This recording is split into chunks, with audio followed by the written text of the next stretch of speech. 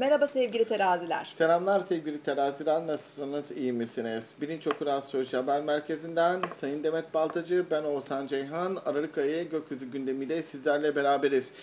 Evet ilginç bir ay derim ben sevgili Demet. Sen de bir terazisin. Ayın ilk 3 haftası gene olumlu diyebileceğimiz pek çok özelliğe sahip. Unutmayın 25 Aralık'a kadar gene ay olumlu bazı etkilere sahip. Keyifli olaylar, keyifli yapılar, çok güzel yeni aylar ve dolunaylar ve güzel gezegen açıları var. Ama ay sonunda çok ciddi bir sıkıntı var. Üç gezegenin gökyüzünde birbiriyle çok gergin açıları var.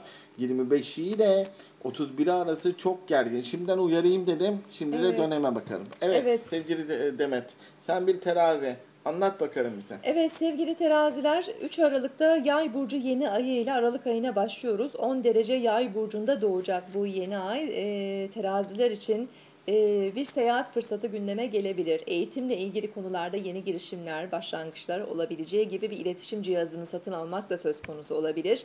Ee, yine misafirler, yakın akrabalarla, yakın çevreyle, kardeşlerle ilişkilerde yoğunlaşma, Merkür'ün de yay burcuna geçmesiyle beraber 5 Aralık'ta e, iletişim günlük hayatınızda artabilir. Daha fazla seyahat yapabilir, daha fazla konuşma yapabilirsiniz. Yazılı sözlü iletişimler artıyor. Yine eğitim, medya, yayıncılıkla ilgili konular e, yılın ilk haftasında, Ara- Aralık ayının ilk haftasında yoğunlaşabilir sevgili teraziler. 7 Aralık'ta Mars terazi burcuna geçiyor.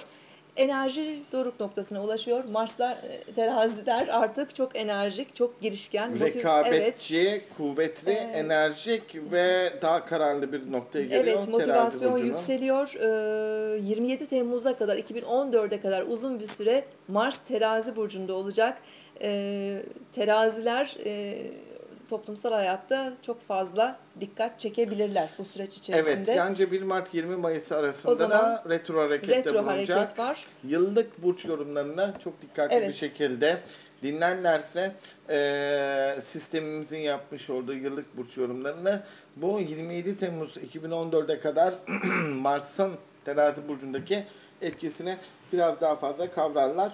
Aslında bu evet 1 Mart'a kadar olumlu gibi görünse de 1 Mart'ta 20 Mayıs arasındaki dönemde olumsuz. Sağlığı etkileyebilir, kazalara neden olabilir, iletişimlerde, ilişkilerde sorunlar ortaya çıkabilir. 10 Aralık, Evet. 13 Aralık eee tarihlerine ne diyorsun? 10 Aralık ve 13 Aralık e, güzel e, Aralık ayının en e, hoş zamanı diyebiliriz. Merkür ve Uranüs arasındaki üçgen açı yine iletişimle ilgili konuları hızlandıracak. E, güzel haberler, sürpriz haberler, belki ani bir seyahat fırsatı çıkabilir. Hayatınız biraz renklenebilir, küçük bir tatil olabilir. E, bir yakınınızla görüşebilirsiniz, misafir ağırlayabilirsiniz veya yine iletişim cihazları ile ilgili bazı sürprizler olabilir. Bir telefon alımı ya da arabayla, otomobille ilgili bazı güzel gelişmeler olabilir. 13 Aralık'ta yine e, ayın güzel bir günü Jüpiter-Satürn arasında üçgen açı oluşuyor sevgili teraziler. E, Kariyerle ilgili. Kariyer ve parayla ilgili konularda belki e, kazançlarınızı etkileyecek bir iş imkanı olabilir. Birkaç bir gün içinde bazı olabilir. haberler gelebilir. Evet. 13 Aralık ve takip eden birkaç gün içinde önemli bir anlaşma olabilir, terfi edebilirsiniz ve uzun vadede sizi mutlu edecek bir olay da karşılaşabilir veya yılbaşından hemen bir ay sonra Şubat başındaki terfinizle ilgili bazı haberler alabilirsiniz. 17 Aralık'ta İkizler Burcu'nda İkizler Dolunay Burcu'nda var. Dolunay. Ne diyorsun? İkizler Dolunayları tabii terazi burçları için e, açısal olarak e, güzel dolunaylar. E, terazi burcu için e, yine seyahatleri gündeme getirebilir. Seyahatler, Ee, medya, evet. yayıncılık, radyo, televizyonla ilgili konuların çok fazla gündeme gelmesi, yazmak, çizmek, bir elektronik cihaz almak, güzel bir bilgisayar, laptop veya yeni bir pet almak, iPad almak, e, işte gibi teknolojiyi takip edebilecekleri bir yapı olabildiği gibi bazıları da uzun yıllardan beri umdukları ve arzu ettikleri seyahate çıkabiliyorlar. Evet. Tabii doğum haritasına göre bu seyahat anlamına da gelebiliyor. Bazıları krediyle güzel bir otomobil de alabiliyorlar. 21 Aralık'ta Venüs retro harekete geçiyor. Bu Venüs'ün retrograde hareketi terazi burcu için önemli bir hareket. Aile ve aileyle ilgili konuların Evet. 31 Ocak'a kadar çok çok fazlasıyla gündeme geleceğini gösteriyor. Şimdi arkadaşlar 21 Aralık ve 31 Aralık arasını çok dikkatli takip edin. Hatta size 3-4 Ocağı kadar da temkinli olmanız gerektiğini rahatlıkla söylemek zorundayım.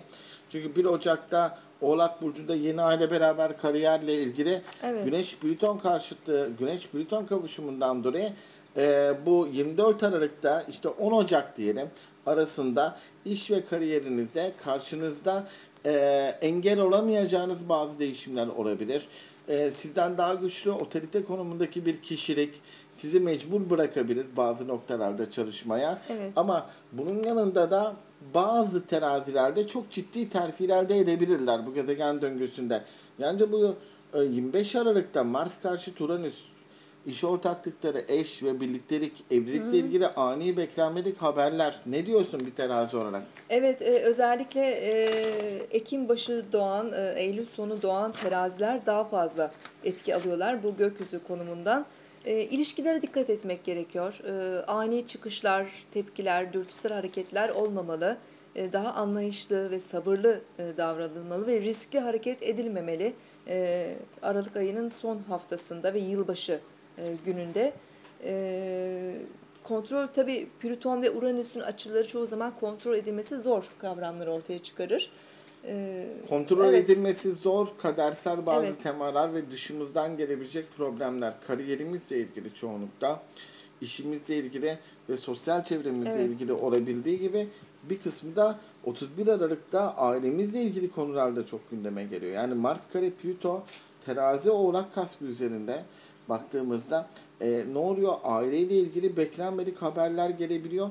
Biraz da 30 Eylül civarında e, doğmuş olan terazi burçlarına 30 Eylül 4 Ekim arasında doğmuş terazi burçlarını çok etkiliyor. Aileyle ilgili ani bir sağlık durumu gelişebilir. E, yanmalara, Evet. e, küçük kazalara lütfen ay sonunda lütfen ama lütfen temkinle ve dikkatle yaklaş sevgili Özellikle terazi. e, toplumsal olarak şiddet olayları, terör olayları da olabileceği için ben kalabalık ortamlara çok fazla girilmemesini tavsiye ediyorum. Çok fazla Evet. kalabalık ortamlara girmeyin. Çok riskli operasyonlara dikkat edin.